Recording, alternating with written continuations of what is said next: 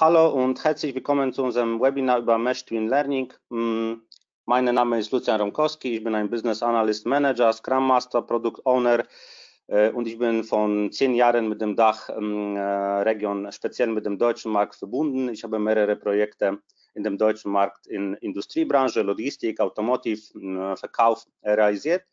Äh, mit mir ist mein englisch sprechender Kollege Hello, my name is Maciek Mazur. I'm Chief Data Scientist in PGS Software, and uh, together with my colleague, we created the Twin Learning concept. Okay, äh, heute wollen wir erläutern, wie mit einem Mix aus modernen Technologien das meiste aus digitalen Methoden herausgeholt werden kann. Äh, die Lösung nennen wir Twin Learning, wie schon gesagt, und sie löst die größten technischen äh, Herausforderungen der Digitalisierung, wie zum Beispiel Interoperabilität, Konnektivität und Solution äh, Management. Wie wollen wir das machen? Äh, erstens präsentiere ich Ihnen Zahlen und Fakten zum Stand der Digitalisierung und wo der Trend hinführt. Nach einer kurzen Erklärung von Digital Twins erläutere ich, wie das Konzept bereits angewandt wird und was möglich ist. Dann spreche ich über Mesh Twin Learning und welche Vorteile die Lösung mit sich bringt. Und schließlich am Ende schauen wir uns anhand von Fallstudien an, was Twin Learning in der Praxis bedeutet. Äh, wir haben fünf Case Studies. Ich werde über zwei sprechen. Äh, Marcek äh, wird drei vorstellen. Okay, los geht's. Wie wir hier sehen, können in die Produktionsmaßnahmen nur ein kleiner Bestandteil der Anwendungsmöglichkeiten von IoT. Ursprünglich wurde Twin Learning für die Fertigungsbranche entwickelt und tatsächlich, IoT Services ist die größte Technologie, Technologiegruppe in 2090. Äh, 94,6 Milliarden Dollar fließen in traditionelle IT- und Installationsdienste. Äh, die Hardware-Ausgaben liegen mit 91,6 Milliarden knapp dahinter. Ähm, die Ausgaben für IoT-Software belaufen sich in 2090 mit 39,3 Milliarden US-Dollar und werden in fünfjährigen Prozess Prognosezeitraum von 2018 mit einer Wachstumsrate von 14,4 das schnellste Wachstum verzeichnen. Die drei kommerziellen Branchen, die in der Prognose am meisten für IoT-Lösungen ausgeben werden, sind die diskrete Fertigung, die Prozessfertigung und die Versorgungsunternehmen. Wie Sie sehen können, äh, auf dem Slide ist der Hauptanwendungsfall für das IoT in den beiden Fertigungsindustrien der Produktionsbetrieb und das Production äh, Asset Management. Zusammen werden diese drei Branchen im Jahr 2019 fast äh, 40 äh, Prozent der weltweiten äh, Gesamtausgaben ausmachen. Und hier stellen wir uns die Frage, in welchen Branchen werden dann die übrigen 60 Prozent der Gesamtausgaben ausgegeben? Das Baugewerbe 15 Prozent, die Telekommunikation 14,2 Prozent und das Gesundheitswesen 13,6 Prozent. Das sind die Branchen mit den schnellsten durchschnittlichen äh, jährlichen Wachstumsraten während des fünfjährigen Prognosezeitraums. In 2019 war der Verbrauchmarkt die drittgrößte Quelle für IoT-Ausgaben, äh, angeführt von den Anwendungsfällen Smart Home und vernetzte äh, Fahrzeuge mit der schnellsten Fünfjahreswachstumsrate in allen Branchen, das ist 17,8 Prozent, wird der Verbrauchsmarkt voraussichtlich die Prozessfertigung überholen äh, und bis 2023 zur zweitgrößten Quelle für IoT-Ausgaben werden. Wir sehen also, dass nicht nur die Fertigung von IoT äh, profitiert. Äh, IDC prognosiert, dass bis äh, zum Jahr 2020, das heißt bis Ende dieses Jahres, 30 Prozent der global 2000 Unternehmen Daten von digitalen Twins von IoT verbundenen Produkten und Anlagen äh, nutzen werden, um die Erfolgsquoten bei Produktionsinnovationen und die organisatorische Produktivität zu verbessern und Gewinne bis zu 25 Prozent zu erzielen. Das Konzept mm, des Digital Twins wurde übrigens mm, von Gartner als einer der zehn wichtigsten strategischen Technologietrends für 2019 äh, genannt. Die Analysten von Gartner prognosieren, dass bis Ende des nächsten Jahres die Hälfte der größten äh, Industrieunternehmen äh, Digital Zwillinglösungen einsetzen und ihre Produktivität um 10% steigen werden. Das A und O von IoT sind, wie gesagt, Daten. Äh, und Digital Twin ist die beste Methode, die Daten zu, äh, zu verstehen. Aber was ist Digital Twin und warum Digital Twin am besten für Smart Building, Smart Factories oder mit Risikovermeidung geeignet ist? Warum beginnt alles mit äh, Digital Twin? Digital Twin, äh, das ist eine dynamische digitale Abbildung historischer und aktueller Verhaltensweisen eines physischen Objektes oder Verfahrens, anhand derer die Leistung einer Anlage oder eines Prozesses optimiert werden kann. Digital Twin basiert auf äh, groß angelegten kumulativen Echtzeitdatenmessungen.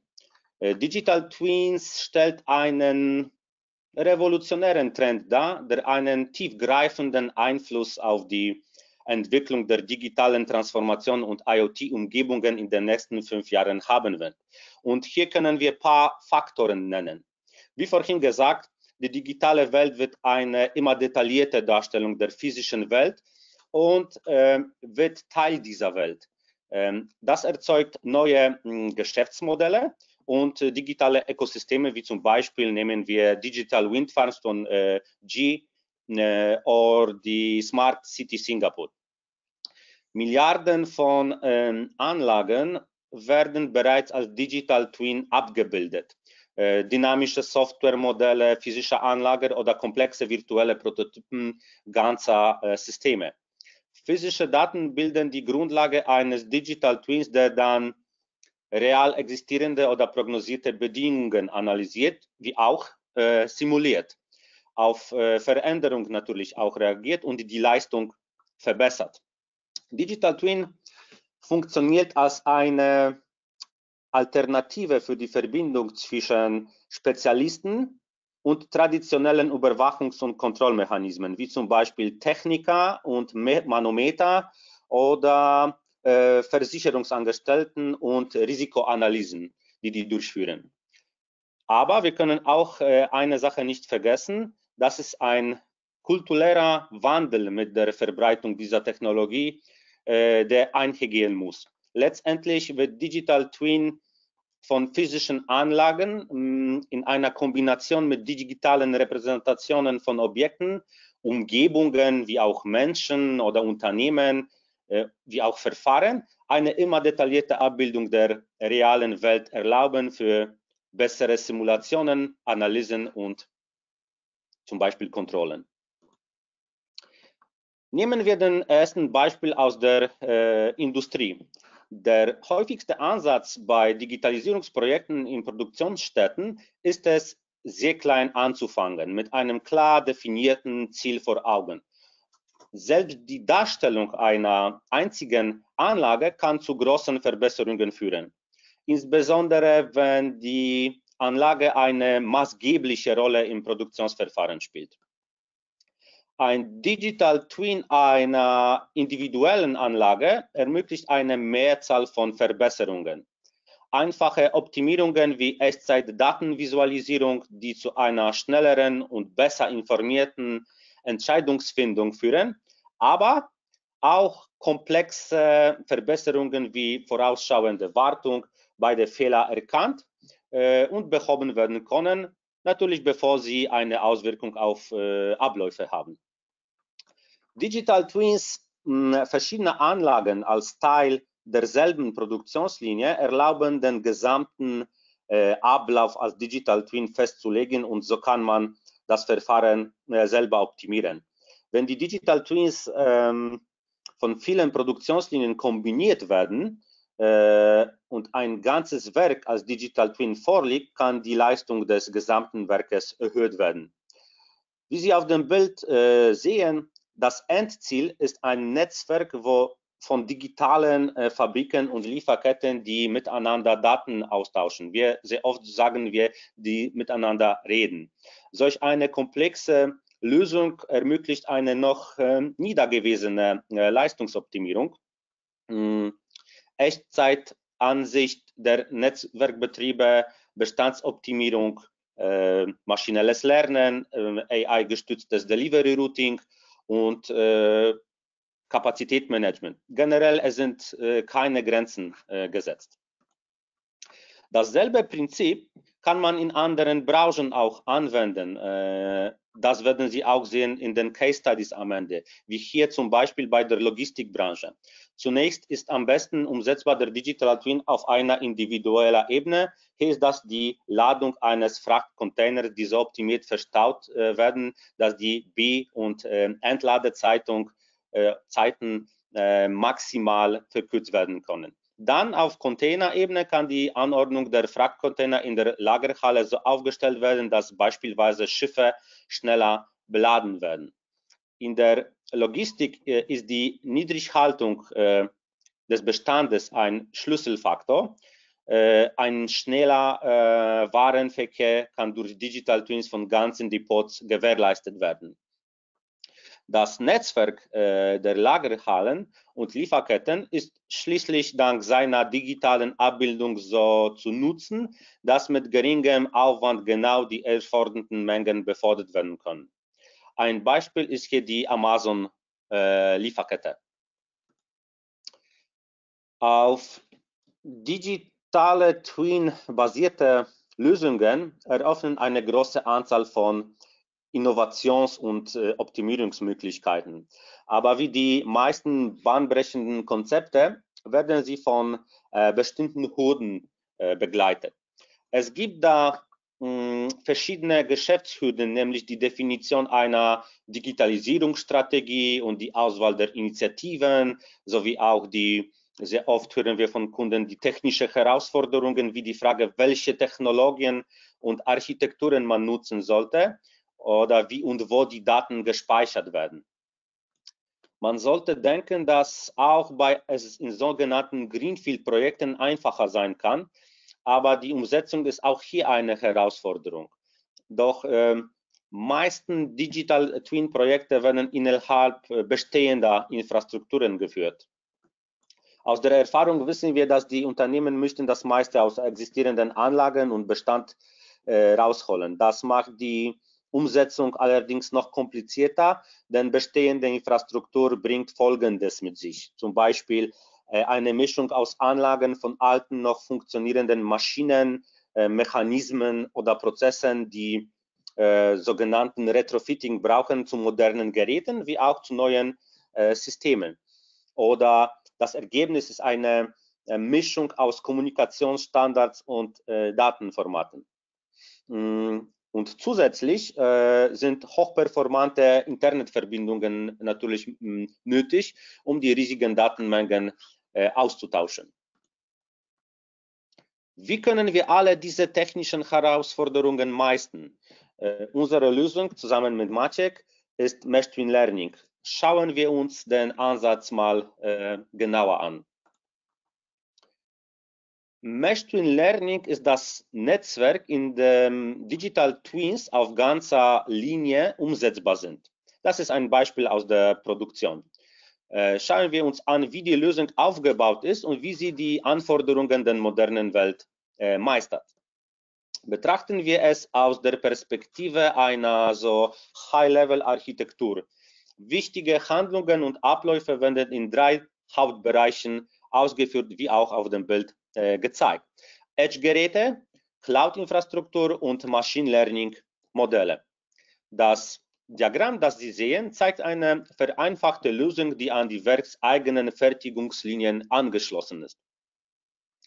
Ähm, die Produktionsnester in jeder Produktionsstätte sind mit dedizierten Edge-Geräten integriert. Sie äh, folgen den Standards des Industrial Internet of Things. Jedes Gerät mh, mm, führt mehrere Daten und äh, mischt ähm, Machine Learning bezogene Dienste aus, die alle unter der Aufsicht eines Echtzeitbetriebssystems laufen. Die von diesen Maschinen gesammelten Daten äh, werden über Managed Services und sichere Protokolle wie zum Beispiel Zertifikate, VPN-Verbindungen an die Cloud übertragen und verschickt. Dieser Cloud-Bereich äh, ist für ein paar Sachen, äh, paar, paar wichtige Sachen zuständig. Als erstes für die Visualis Virtualisierung äh, eines Maschinenstatus, alle Parameter mit Hilfe einer Farm mit Digital Twins, äh, Device Shadow Farms, es heißt. Danach mh, mm, für die Versorgung der Analysemaschine, die eigentlich der Data Lake für die Machine Learning Engine ist.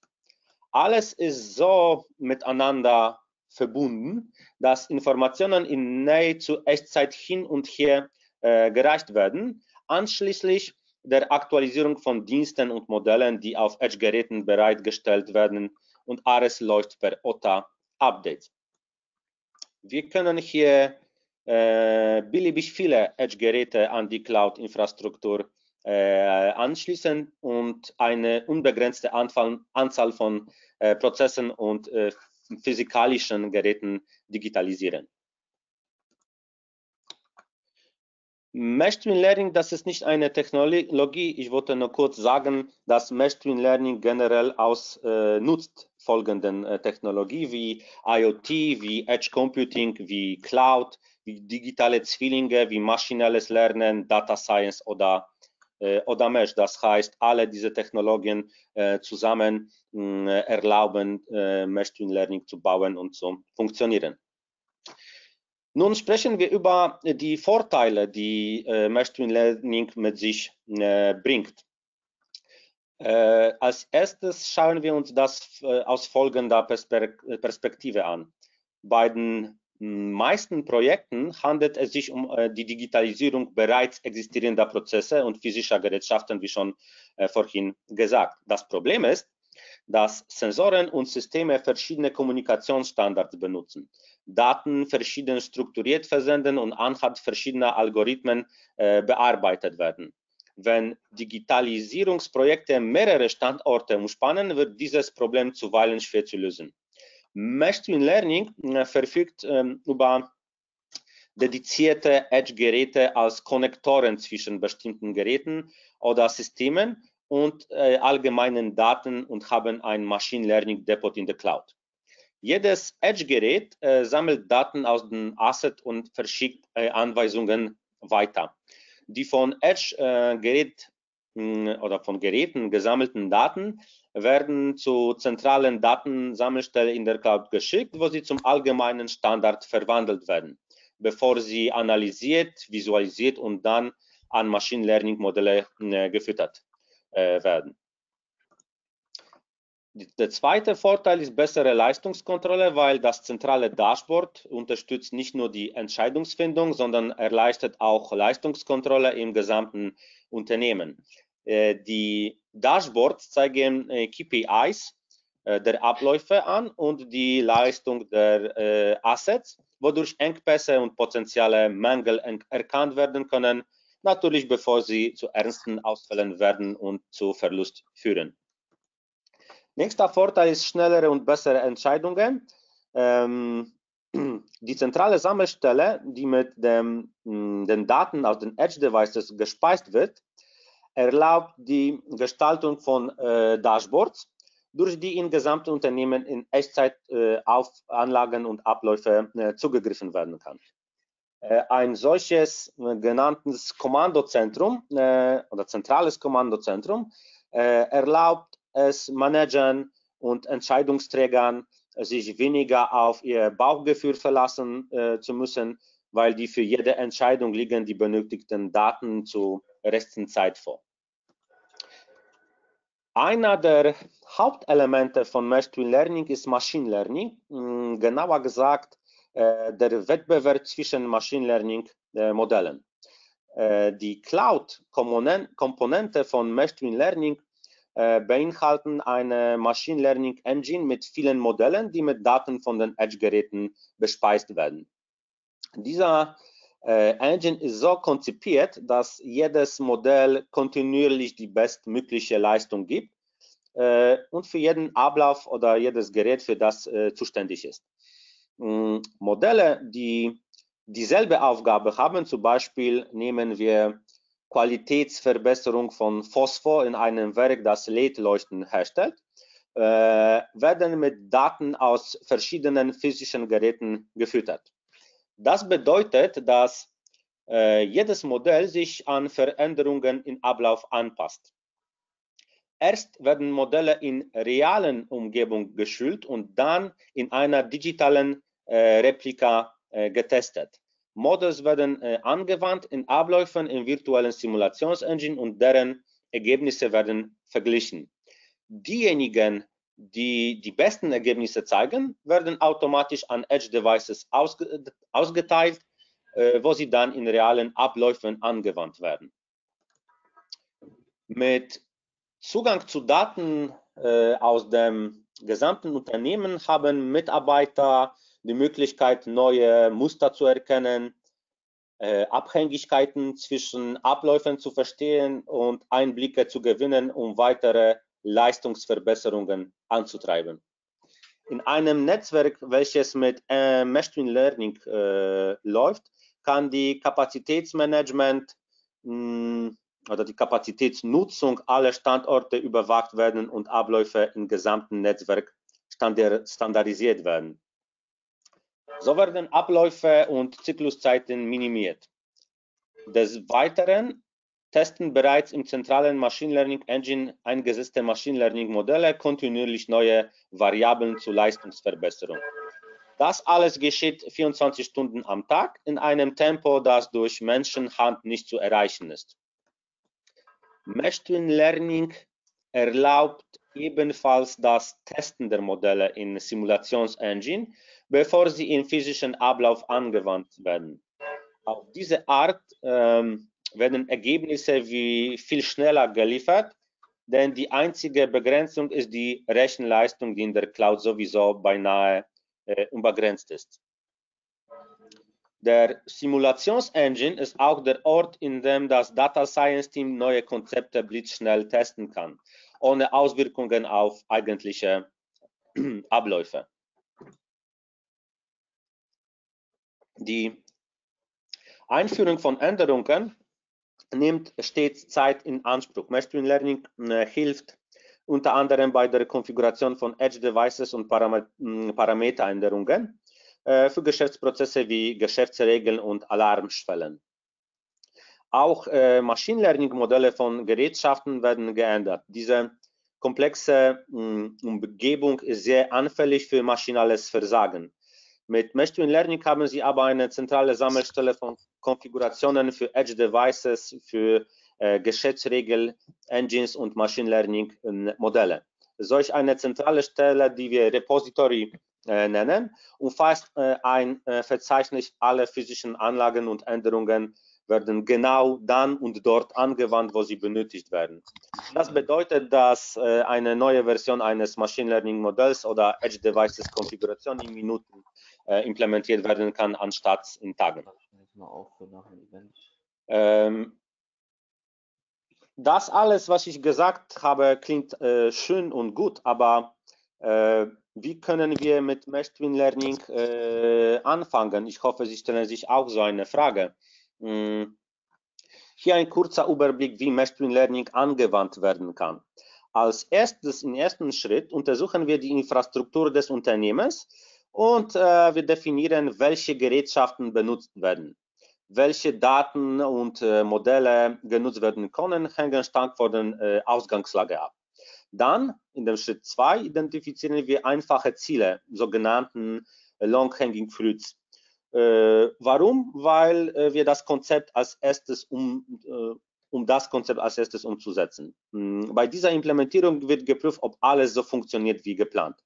Anschließend für zum Beispiel drei Produktionslinien äh, bauen wir den Machine Learning, um skalierbare Ergebnisse zu erzielen und im Anschluss auf größerer Ebene zu experimentieren. Und schließlich als können diese Rahmenbedingungen anderswo angewandt werden und man kann die skalieren. Äh, ein typisches Projekt äh, sieht folgendermaßen aus. Äh, allgemein schätzen wir den Zeitaufwand auf etwa 100 Arbeitstage. Äh, ein großer Teil der Zeit wird durch Genehmigungen, Genehmigungen und Zugänge etwa zur Fabrik oder der Netzwerkkonnektivität in Anspruch genommen. Für unseren Data Exploration Workshop brauchen wir eine Datenprobe. In den meisten Fällen nehmen wir diese Probe von dem Workshop, um zu analysieren, ob sie zum Beispiel brauchbar ist. Dann in dem Workshop präsentieren wir fünf bis sechs Cases, zum Beispiel Reduktion des Energieverbrauchs, Beschleunigung des Fertigungsprozesses oder Qualitätsverbesserung, je nach den Kundenbedürfnissen. Es ist durchaus möglich, dass nicht alle Optimierungen gleichzeitig möglich sind, also priorisieren wir und implementieren eine nach den anderen, natürlich nach den Gesprächen mit, mit, mit Ihnen, mit unseren Kunden. Nach so einem Workshop wird ein MVP vorgeschlagen, Minimum Viable Product. Das ist ein sechswöchiger Wirksamkeitsnachweis, Konzeptnachweis. Wir verpflichten uns, ähm, zu dem Zeitpunkt einen Mehrwert zu schaffen, zum Beispiel einen Algorithmus, der den Fertigungsprozess um ein paar Prozent äh, beschleunigt. Dann äh, werden die Ergebnisse ausgewertet und falls sie zufriedenstellend sind, wir gehen über in die Produktionsphase, der Zeitaufwand hierfür hängt von der Komplexität der Produktionsvorgänge ab. Wenn etwa die Fertigung stark automatisiert ist, brauchen wir dann ein paar äh, Wochen. Okay, äh, gehen wir zum äh, Case Studies, die wir vorbereitet haben. Ich starte von den ersten zwei. Das erste Projekt, welches, welches ich heute anspreche, ist für die Automobilindustrie. Äh, unser Data Scientist hat Machine Learning für die Chassis-Montage äh, verschiedener Automodelle auf derselben Linie gestaltet äh, und implementiert. Das Ziel war die Optimierung des Stromverbrauchs. Diese wurde erreicht, denn die Stromverbrauch wurde um 4% ähm, reduziert. Anschließend wurden Qualität und Abfälle auch optimiert. Der Grund für die äh, Zieldifferenzierung war, dass für die Herstellung von Luxusautos äh, die Produktion auf Qualität ausgerichtet ist. Andererseits kann bei der Herstellung des Chassis äh, auch darauf geachtet werden, dass die Kosten möglichst niedrig gehalten werden. Äh, Reduzierung der Abfälle des Stromverbrauchs oder des CO2-Fußabdrucks. Äh, Natürlich können Ziele auch kombiniert werden. Äh, die einzige Voraussetzung ist es, dass Ziele messbar sind und von den äh, Parametern der Produktionslinie äh, abhängen. Das Projekt war ein Erfolg und die Lösung wurde beim Kunden permanent umgesetzt. Beim zweiten Projekt aus verschiedener Branche handelt es sich um Kartoffelplantation. Je nach geplanten Nutzen können Kartoffeln derselben Abart nach Gewicht, Volumen oder Länge optimiert werden. In einem großen mh, mm, Kartoffelfeld variieren die Bedienungen zwischen den verschiedenen Reihen und Sektoren. Dabei geht es um Bodenfeuchtigkeit, äh, Mineralhaltigkeit, Härte oder Unkrautverbreitung. In diesem Projekt war es die Aufgabe unseres Data Scientists, die richtigen IoT-Geräte auszuwählen, um die äh, Messungen vorzunehmen und sie mittels Machine Learning in der Düngenverteilung anzuwenden.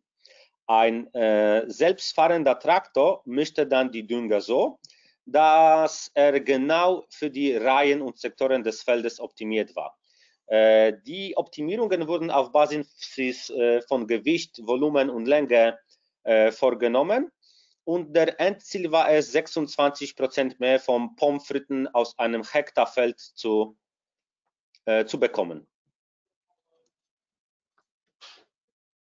So, as uh, Lucian already explained, we had a lot of experience implementing machine learning in the manufacturing industry or in agriculture. Uh, however, the interesting thing is that it, it can be easily used in other places. So if you imagine banking, for example, we have a payment operator as a, one of our customers. And what they have is a fraud detection system. So currently, whenever the frauds are made, there is a machine learning algorithm uh, trying to find out fraudulent transactions. Uh, however, if you are running it locally in one place, like uh, for example, somewhere in Poland, in Warsaw, and you have another branch of your bank in Spain, uh, then the models which are being trained on the frauds in Poland and in Spain might be different because of different fraud patterns and also the ways how the criminals are working. Thanks to machine learning, you can combine these experiences and uh, share the knowledge about different uh, types of frauds and thanks to that detect more of them. Uh, another industry which uh, um, we used the concept was the call center. So in UK we have one uh, big call center operator where they have a system for automatic voice understanding and also the voice analysis. So if you imagine someone is calling to the call center uh, with an insurance claim, then the system is automatically analyzing the voice of the person, not only doing like a speech to text, but also trying to get some info about the person's emotion, about uh, if they are telling the truth or not, and so on. So this kind of system, when it's trained in different locations, it's also getting much more uh, data sets and much more knowledge, and also uh, you can quickly compare the results between locations. Last but not least, the interesting one is a dynamic price optimization. Uh, this is in insurance. We all hate dynamic price optimization, of course, especially when we are booking our flights.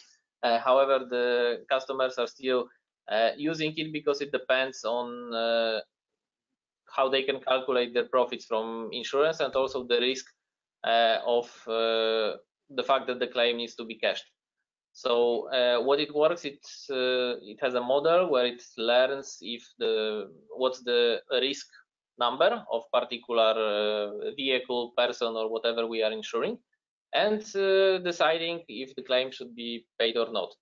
Uh, this is another example where machine learning concept was useful and it's not like the technologies from the factories are applied into these different industries, but rather the way of working, the connection between the components, the ready-made software assets, which are greatly increasing the speed of introduction of such projects.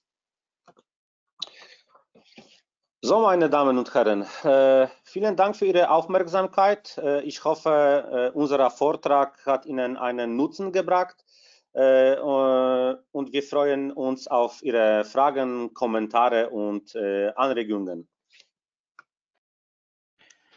Ja, vielen Dank, Herr Romkowski und auch an Herrn Masur für Ihren Vortrag. Ähm, ja, genau. Hier nochmal der Hinweis an der Stelle, äh, wenn Sie Fragen an die beiden Referenten haben, ist jetzt die Zeit, die zu stellen. Äh, ich habe schon ein paar Fragen reinbekommen, aber Sie können gerne auch weiter noch äh, Fragen schicken. Falls es zeitlich nicht ganz passen sollte, können wir immer noch äh, die Fragen im Nachgang an die Sprecher schicken. Genau, dann fange ich einfach mal gleich an ähm, mit der ersten Frage und zwar muss ich einmal kurz runterscrollen. So, ähm, welche Personen werden äh, im Unternehmen benötigt, um die gemeinsame Arbeit am Machine Twin Learning zu beginnen und auch fortzusetzen? Und wie zeitaufwendig wäre das Ganze? Und ist das irgendwie belastend für den Kunden in dem Kontext? Äh, ich werde das beantworten. Es hm, gibt verschiedene Faktoren, die sich auf die hm, äh, Zusammenarbeit natürlich auswirken, wie immer. Äh, erstens äh, müssen wir Zugang zu den Daten haben, falls diese nicht, äh, falls Sie diese nicht haben, fügen wir die Datenerfassung in Schritt 0 aus meiner Präsentation hinzu. Zweitens müssen wir mit einer für das Projekt verantwortlichen Person auf der Kundenseite in Kontakt bleiben. Wir brauchen hier einen Ansprechpartner diese Person äh, wäre dafür zuständig, Antworten auf die Fragen zu den Daten und zu der bestehenden Infrastruktur in der Fabrik äh, zu geben. Natürlich muss das äh, es nicht eine Person sein, die alle Prozesse kann und generell alles weiß, sondern wir brauchen jemanden, der leicht mit Leuten in Kontakt kommen kann und die Antworten äh, bringen kann. Hm, dies ist eine keine Rolle als Projektleiter wir, äh, wir, wir können schätzen, dass hm, das Engagement einer solchen Person circa zehn Stunden pro Woche betragen würde. Mhm. Super, vielen Dank. Ähm, dann habe ich aktuell noch eine Frage drin, ähm, und zwar, wie kann denn der Erfolg der Implementierung äh, von ja, Mesh Twin Learning gemessen werden? Hm, okay, ich starte. Äh, die Ziele, für die wir versuchen zu optimieren, sind messbar. Ähm, die Optimierung des äh, Energieverbrauchs, die Reduzierung des Abfalls und die Anzahl der Teile, die es nicht durch das Quality Gateway geschafft haben, sind alle messbar. Äh, der Hauptvorteil ist immer noch die Möglichkeit, zwischen diesen Zielen zu, äh, zu wechseln.